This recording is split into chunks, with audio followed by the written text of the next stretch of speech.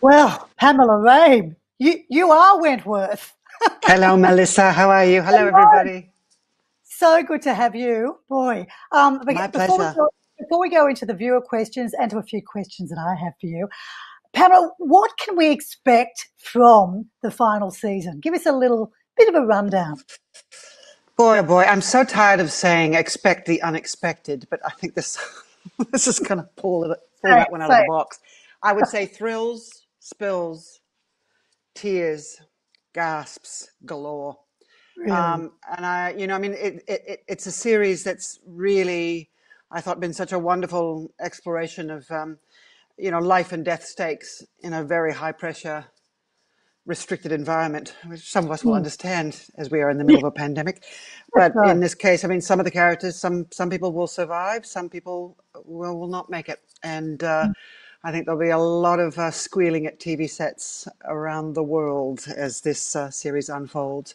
What I love about it is the fact that it's we've been able to make these last twenty episodes, the season eight and whatever this is, season nine or season eight, part two, the final season, is that it's given the writers a chance to bring home stories that have been seeded Mm. since the very beginning of like what Kate Atkinson said, the very first scene of season one, and it's uh, there's a great sense of um, balance and satisfaction that I hope that the viewers will get out of feeling all those stories come home.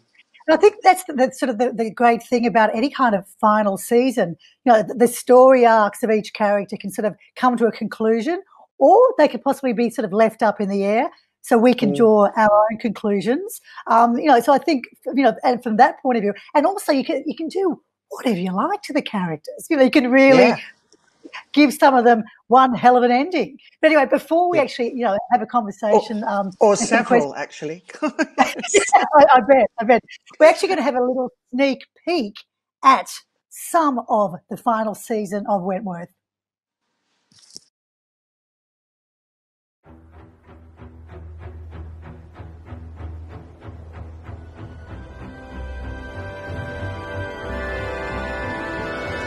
One stay in motion, keep an open mind. Love is a race run by two. Your emotion, my solitude. If I stop, I could lose my head, so I'm losing you instead. Either way, I'm confused. You slow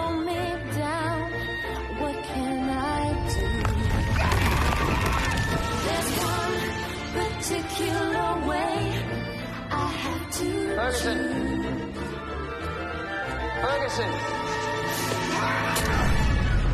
Maxwell, your appointment with Dr. Miller. Yes, Mr. Stewart.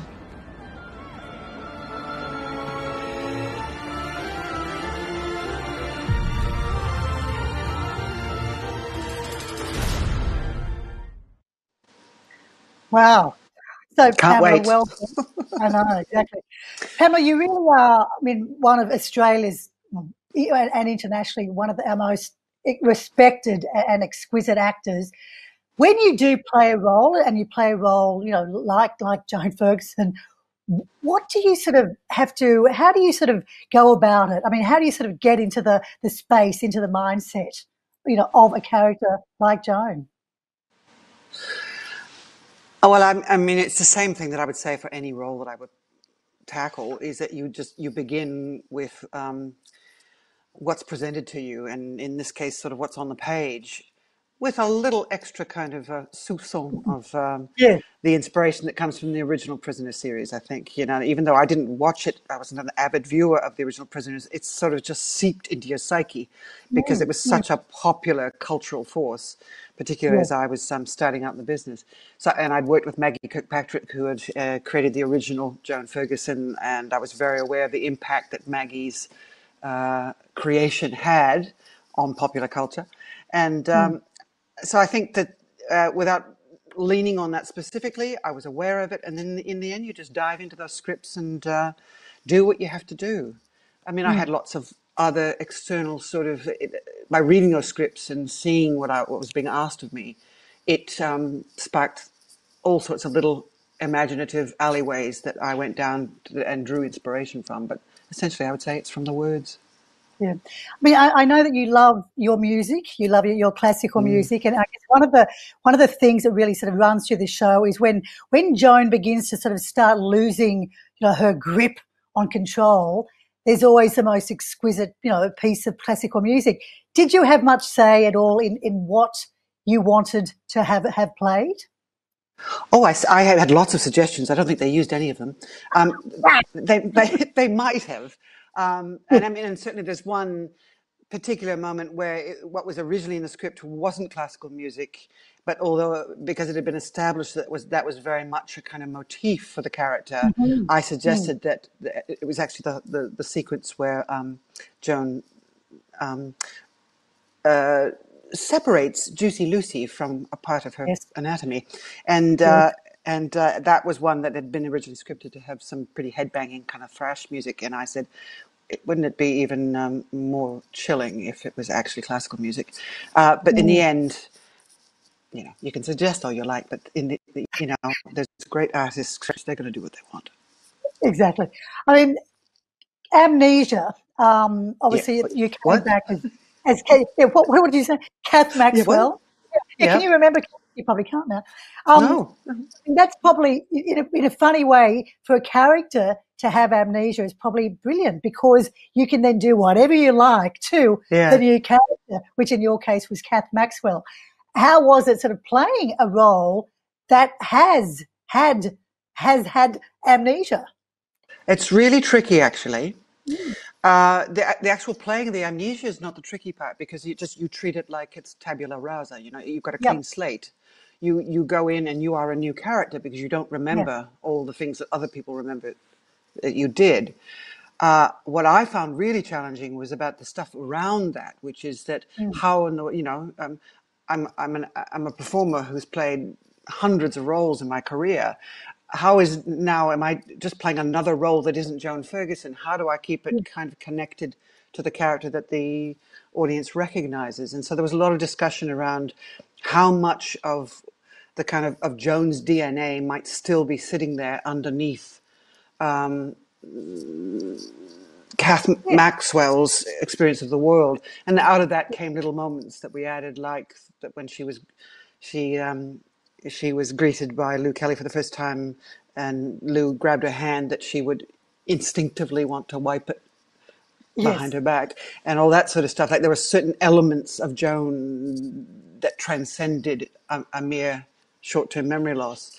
Uh, but that stuff's kind of it's tricky, but it also kept the furnace going for the will she or won't she or is she faking it kind of uh, exactly. uh, tension that ran all the way through season eight anyway. So that kind of fueled that little flame and kept that on the back burner. I mean, I guess Pamela to have, have played such, you know, and I, the word iconic, icon gets, you know, bandied around a lot, but I think a character like Joan Ferguson is iconic when it comes to extraordinary Australian dramas. Do you have people, you know, coming up to you in the street? Oh, Joan, Joan. I mean, is, is it, I mean, the icon state, the icon status of Joan is immeasurable. How do you sort of deal with that?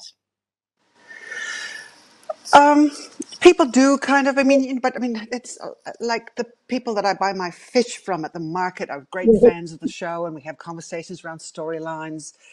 Um, mm.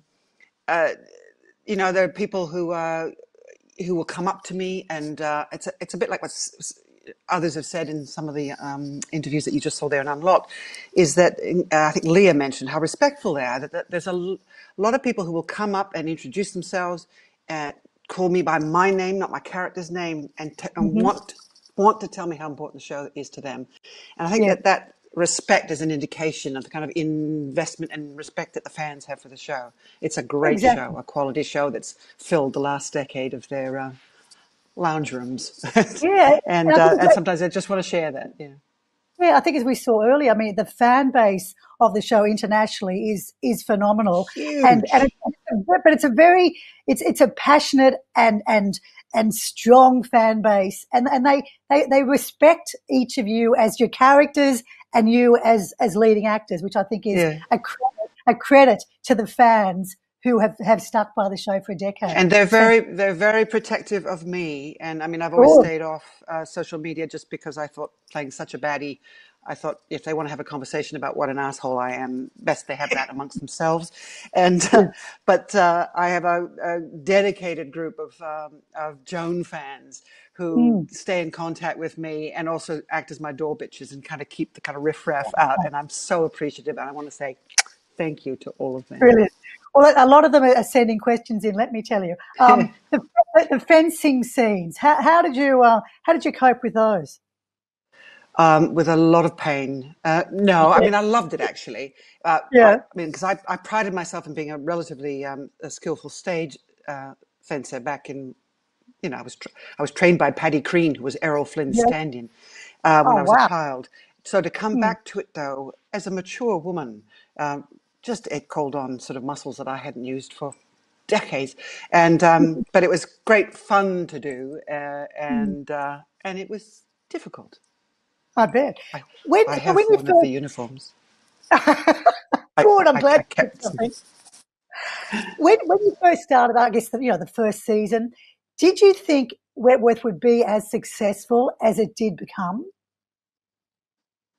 Uh, well, I was lucky enough to begin at season two, so I think we already knew Mm. they had a hit on their hands, and um, and so and, and and I felt quite lucky because they sort of ironed out all the kind of knobbly bits before I arrived, Yeah. and uh, I was just really excited to be involved. I mean, I don't think I quite. I mean, to say I'm old enough to remember the original Prisoner and have worked with many of the actresses who appeared on that uh, show, and was aware of the effect that that show had on um, fans way back then. So it didn't surprise me that Wentworth um, gathered uh, a, a really strong Mm. following. Well, I think what surprised me was that it also, for the most part, also collected some of those original Prisoner fans as well, and they've become some of the most ardent and kind of uh, clicked in kind of fans of the Mm. show. And, and, and it's something about that multiplier, the fact that they gave uh, a seal of approval to this Mm. reincarnation, this reimagining for the 21st century, made it possible for the, a kind of a snowball effect to happen. Yep. And now, you know, the fan mail that we get from Reykjavik, Moscow, Johannesburg, Yes.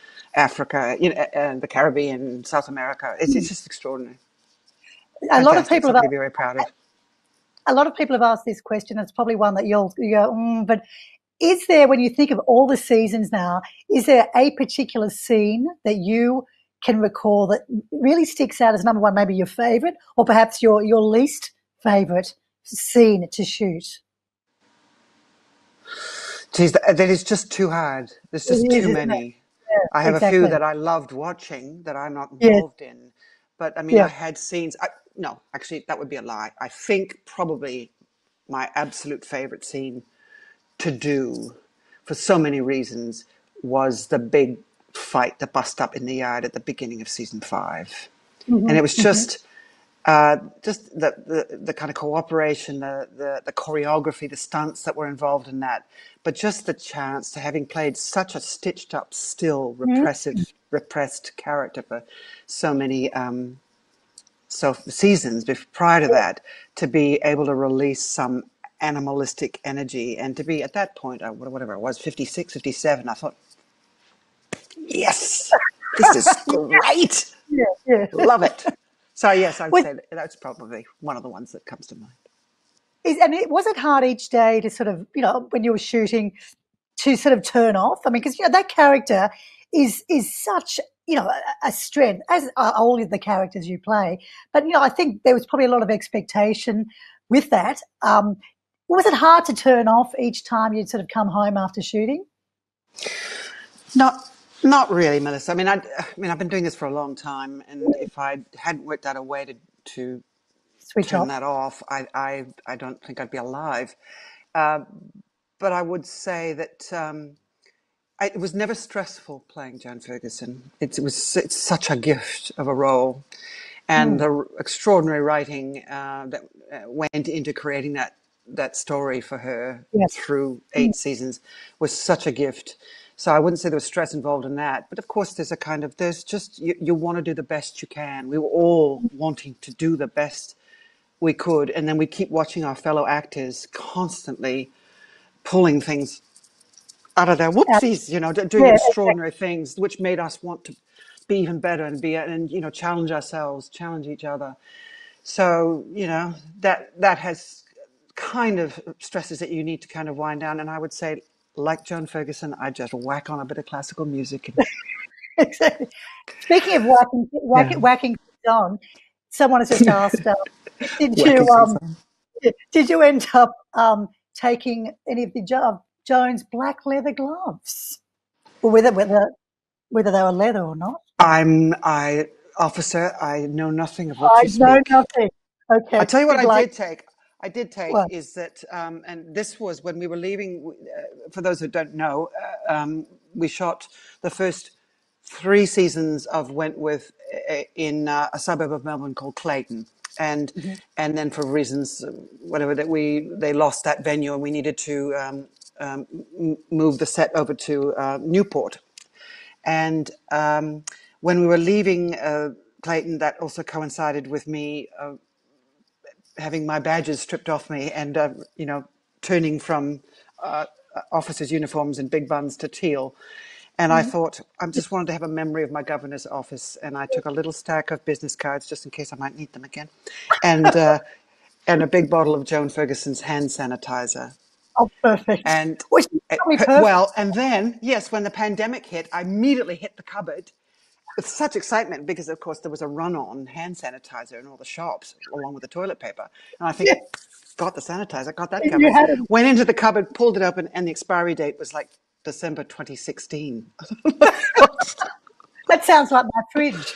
yeah. Well, Pamela, Anyway. thank, thank you so much for your time. We can't wait for next week to see Neither can I. Yeah. It's exciting, isn't it? So thank you for It your is. time, and um, we'll see you on the other side. thank you all so, so very much uh, for this evening. Of course, next week, August 24, on Foxtel, we'll start the final season of Wentworth. And of course, if you are in the UK, it will premiere on Tuesday, the 24th at 10 p.m. on Five Star. So until then, enjoy the final season of Wentworth, and we'll see you again very, very soon. And thanks for joining us. Bye bye.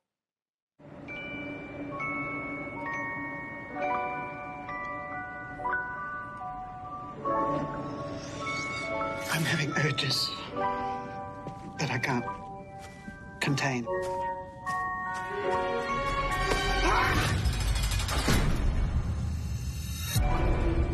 Baby, you understand me now. The path that you're currently on leads to war. If sometimes you see that I'm mad. A lot of people we know will end up dead. Is that something you want? Things are unraveling. For God's sakes, what do you know? What did you do to them? That is my daughter! She has driven us all to this point. I understand exactly what you are.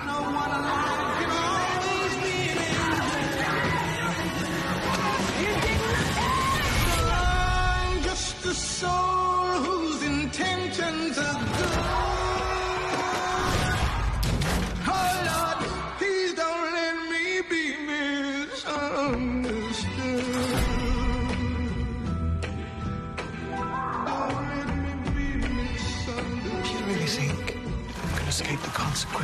Your actions?